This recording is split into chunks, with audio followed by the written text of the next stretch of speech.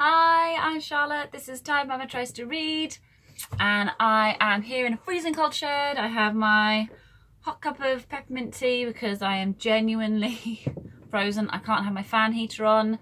Those of you that have watched before know that it makes too much noise, so let's do this. So this is my first Friday reads. I've not done a Friday reads before, mostly because I didn't really understand what they were.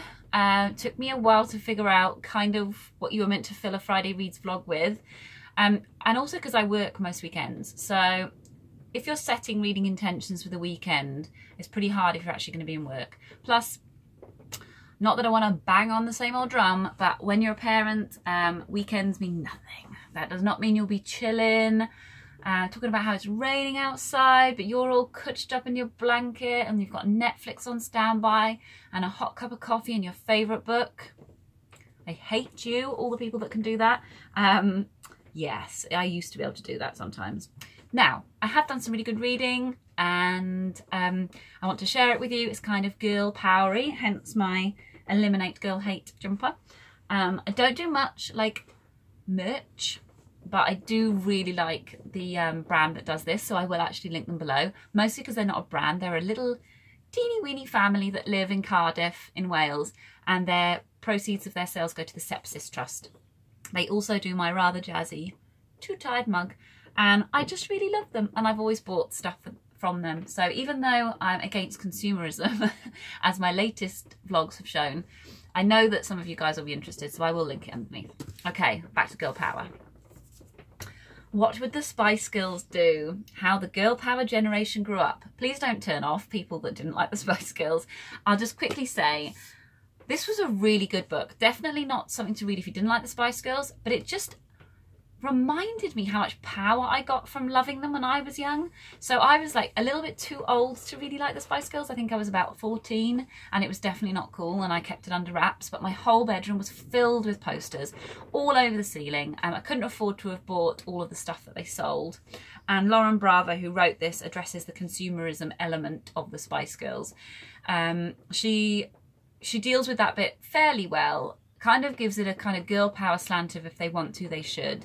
But I, yeah i'm not massively comfortable with that side of them. But the songs and how they were just brashy and you know they they were kind of they liked boys um but they weren't uh throwing themselves at boys and saying i love you please come back and all that kind of stuff obviously today and actually and actually she talks about how one of the songs they tried to make it more um, sort of gender neutral and not so specifically um, heterosexual. So there was an element even back in the 90s where they were trying to address that boy girl um, thing that was going on in loads of pop songs, which is still going going on in loads of pop songs. So she, um, yeah, the kind of just give you a brief run through, she goes through different aspects of of what the Spice Girls may have taught us then and what we can take from it now. So it's it's kind of frivolous, some of it, like style, you know, how they dressed and stuff. But some of it is um, about friendship, about confidence, about speaking out, um, about the women that went before them and the women that will come after them. And really, really enjoyed Lauren Bravo's take on the whole thing. It made me realise that I kind of want to put on one of their songs every morning to sort of just gear me up for the day and that I miss that that just completely arrogant confidence that I, I, I had. When I first liked them, I was massively shy in public. At home, I was precocious and loud, but uh, anywhere that was outside of my house, I just wasn't. And liking the Spice Girls, I think, was actually key to me being more confident. And I've now reverted back to that person again, where I am insecure and anxiety ridden. And it doesn't come out really very I mean I've had a lot of practice of being quite bolshy so I think I still come off quite bolshy but I definitely don't feel that way inside. So I kind of feel like I need to just go back and maybe put on their albums and do some dancing. We'll see how it goes. I've been teaching Idris how to do the high C ya bit of the dance in Spice uh, Up Your Life. If he does well I will film that for you um, so now on to some literary stuff. This is Almost Famous Women by Megan Mayhew Bergman. And this isn't new new, so I don't know how many of you guys have already seen reviews from other booktubers. It's 2015. Let me just say, this is like one of the most astonishing books I've read in my life. And it's certainly up there on the short story top five. I mean, it's just, I can't quite describe what I felt when I was reading it because you're going into about a dozen different women's lives through um, Bergman's writing. So she picks these women who are almost famous. They were either very famous in their lifetimes for maybe a short period or within certain circles, and then quite often they they fell out of fame and ended up living, in a lot of cases, quite quite frighteningly awful lives. Um, we're talking drug addiction, poverty, ill health, that kind of thing. So she goes. What really struck me, I think, was the variety of people that she that she delves into. Uh, the first set of stories is about Daisy and Violet Hilton. Um, I don't know if you can see the picture. They were conjoined twins, um, and they they didn't share any organs, but they shared a bloodstream. They were made famous in in in what can only be termed and what they term as freak shows. But they but they they wanted to be dancers and singers you know they really wanted to do something with their lives. And she perfectly captures this desire within them to be together and to nurture one another and also this desire to just cut themselves apart. It was beautifully done and very very sad. Um, then she goes into um, person called a lady called joe Carstairs Am I saying the name right? It doesn't sound right. And she was the fastest woman on water and she was also an ambulance driver in the First World War. Her story intersects with Dolly Wilde, the niece of um, Oscar Wilde, who was also an ambulance driver in the First World War. And both these women are traumatised. And again, another thing that, that Bergman is bringing out is this idea of post-traumatic stress disorder from the from um, the war, which you automatically associate with a male soldier, especially from that period. But she's clearly saying, well, this, you know, this is what it was like for women as well. Women were on the front line, involved in different ways yeah, she does it really, really well. Um, as I say, she's got Dolly Wilde. She's also got Allegra Byron, who was um, Lord Byron's daughter and who didn't didn't survive her childhood. Um, it's a quite an upsetting story, but again, amazingly done. Butterfly McQueen, who uh, was a maid on the film Gone with the Wind. Um, yeah, there's just there's just a real variety of women in this, and she does it all exceptionally well she it'll have you googling to see wh where she sort of got some of her ideas from and then you'll want to find out what happens to some of the women. You probably even want to order some biographies because I definitely did but what an experience you know? I just there's not often you read a book that you just I don't know that you feel that buzz afterwards. You know you enjoy a lot of books but they don't necessarily stick with you but that one that is going to stick with me. Okay I'm also still reading, I've started reading, A Woman Looking at Men, Looking at Women by Siri Hustvedt. And after my last vlog, um, I have been very happily joined by um, Britta Bowler and by Shan of Shania Reads. So we're doing little Voxer chats about it now. And um, they're coming from really interesting perspectives because Britta, as you can probably imagine, is a very well-read lady and she's, you know, up on her European thinkers and philosophers and whatnot. Whereas I have always struggled with that kind of um, theory and I'm really interested in it, but it just generally doesn't stay in my brain for very long. Um, I can remember the no plot of a novel for decades afterwards, but I can't remember theory for more than a week. So she's picking up on a lot of the things and understanding the context of some of the writers that Hustvedt kind of just drops in. You know, she doesn't give a lot of um, description. She kind of assumes that as an audience you're going to know. And that's partly because these essays, the ones that we're starting with at least, were written for quite specific audiences for either conferences, the openings of um, uh, new exhibits in art galleries, that kind of thing. So she's supposing that you've got some kind of knowledge already, which is great. I'm, I, I don't like being spoon-fed, so in some ways this is nice to be treated like a like an intellectual. And then anything I'm not sure on I'm just googling. And Shan's coming from a perspective of having studied art. So she's much more clued up on the artists that are being mentioned. Um, I don't think she's having to do as much googling as me on the pictures that they're talking about. Um, and she's already got opinions prior opinions on some of the artists being discussed, like Jeff Koons, who she really, really likes. And whereas I didn't really know who he was and was a bit unconvinced, but she is slowly convincing me with pictures of dogs made of flowers, which was quite cute.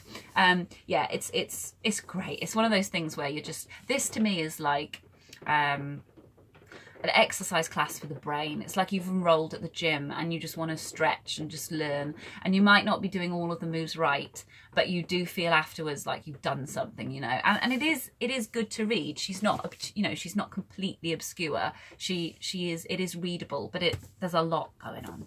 Um, and so now for the weekend. So I am actually working this weekend, uh, which doesn't bode particularly well for my reading. But I think it's going to be quite a chilled weekend when I get home. Um, Idris will hopefully have been tired out by um, Stephen, so um, hopefully he'll go to bed. He has not been sleeping again.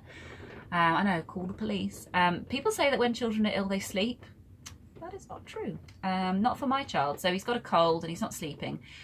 Hopefully, if he does sleep this weekend, I might get some evening reading in. And I've already, I'm coming up to like half, mm, no, maybe not halfway. I'm just over a third of the way through into The Mothers, a novel by Brit Bennett. Now, I picked this up last year. And the reason why I started reading it now is because I've realised that really shamefully, I've not really read any women of colour this year. I've been trying to think about my reading list and it's just, well, it's definitely, if I have read a woman of colour or even, or a person of colour, it's certainly one or two, if that. So I need to correct that. That's not where I was last year. I think it's because I've gone into my backlist and a lot of my backlist is stuff I bought years and years ago. Um, I wasn't particular, you know, I was I was pro um, writing that was diverse, but in a very loose way. You know, I didn't particularly sort of enforce it in my own reading, and I certainly didn't look for it. And if they were Native American, I looked for it, but that was just because that was my personal interest. So, um, The Mothers by Brit Bennett is awesome. So far, it's covering the topics of um, the loss of a parent and suicide and also abortion. So, those are really heavy topics. I appreciate that they're not going to be for everybody. And I'm not in a great space mentally, so it is a little bit of a tricky read for me at the minute but so far she's she's dealing with it in an incredible way and, and i'm just enjoying um, the writing it's, it's very easy to read um, also, I went to the library. So, um, but if you, some of you seemed really concerned about my la my lack of book hauls that I was talking about in my last video, and I know what you mean. I love watching other people's book hauls, so I was really um, touched that you felt you would miss mine. And when I did my last one, yeah, that was a good book haul. Like that was a diverse book haul, and I really enjoyed putting it together. So I feel sad that I'm not necessarily going to deliver that now as frequently or at all. But that doesn't mean I'm not going to have new books because, you know, it's my birthday coming up. I'll have books as gifts for that. Um, I'll be able to show them to you. I'm also going to buy the odd book. You know, I'm not putting myself on a complete book ban. I would like to do it, but I just don't think it's feasible. And already last week I got a book out from the library. I read the first chapter. It was a factual book, and I knew that I would want to interact with it in a way that I couldn't with a library book. I'd want to make notes. I'm really into making notes in especially non-fiction books. I just find that I really connect with the text when I'm underlining, when I'm commenting, when I flick back through I can see the bits that were interesting to me and I can reread them. I know it's controversial to write in your books but I really do find that it helps me to absorb the facts. So I knew I was going to want to do that so I sent it back to the library today and I've ordered it off of eBay secondhand. Um, so I will talk to you about that. I'm not going to tell you what it is. You can see when it comes. Um, so there will be new books and also I'll be going to the library as I have done today because, you know, some, my book buying habits were such that I was buying so many I couldn't possibly have read them. So in some ways going to the library and getting a stack out, even if I don't have time to read them, it's a similar it's going to be similar content for you. It's showing you what interests me and what grabbed my attention. So I've come back with um, Too Fat, Too Slutty, Too Loud, The Rise and Reign of the Unruly Woman by Anne Helen Petersen. Um, I think this came out in 2017, so it's not new new. Um, it's good news for me because if I really, really enjoy it and want to order it, it's probably out in paperback now, so that's worked out really well. Um, this has been set in really interesting chapters. I don't know if you already know, but she's um, separated it into too strong, too fat, too gross, too slutty, too old, too pregnant, too shrill, too queer, too loud, too naked. Those are the um, lists of chapters and then the women she's chosen for those chapters are Serena Williams, Melissa McCarthy, Abbi Jacobson and Ilana Glazer, Nicki Minaj, Madonna, Kim Kardashian, Hillary Clinton, Caitlyn Jenner, Jennifer Weiner, Weiner? Weiner? I want to say Weiner but that sounds rude, um, Lena Dunham. So yeah, I think that's going to be really good. I like that she's chosen famous people because um, despite trying not to watch too much TV, I know who everybody is in that list. I know far too much about the Kardashians for someone who doesn't like consumerism. So yeah. I also got out Silence of the Girls by Pat Barker. I was super chuffed that I could even get this out since the Booker list has been, an, uh, not the Booker list, the Women's Prize for Fiction has been announced. I was expecting them to be completely out, but um, I got hot off the press that during the day they were announced, I went through the first few books on the list, and we're, you know, weirdly and upsettingly, some of them weren't even in my local library. So um, I went down the list until I found one that was, and this was the first one to get a hit. So this is a retelling of the Iliad, I believe, or part of the Iliad. Um, I think it's more focused on the women, hence the silence of the girls. I'm always a little bit dubious about retellings of myths, in particular Greek myths. I just don't know if they ever really work. I've yet to read one that's really worked for me anyway. Um, and I've read the Iliad, I've read the Odyssey, so I feel clued up enough to approach it and hopefully be able to see what, what she wants to do with it. But Pat Barker is awesome, and I did not realise how awesome. I've never read her. Oh, look at the inside jacket. That's nice, right? Um, she was born in Yorkshire and she began her career in her 40s. Hello, I like a writer who starts in her 40s. Makes me feel like it can actually happen for me one day. Um, and she took a short writing course taught by Angela Carter what I mean, honestly, can you imagine how chuffed you'd be?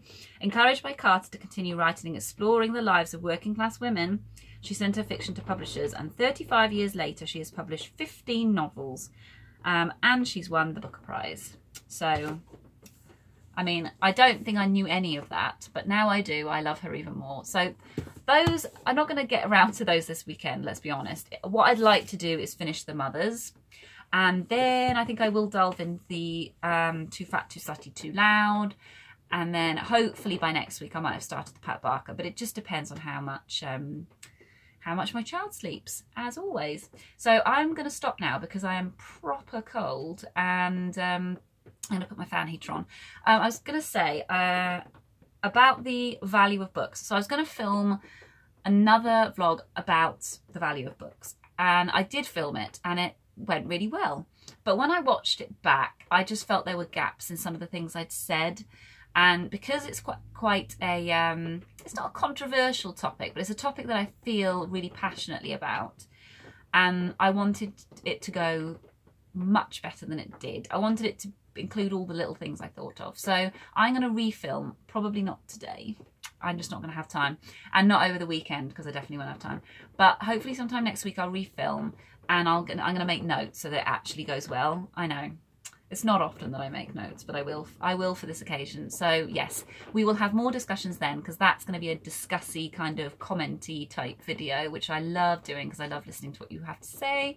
But if any of you have read any of those, let me know. If any Spice Girls fans are out there, let's talk. Okay, I hope you're having a lovely day and I will see you soon. Bye.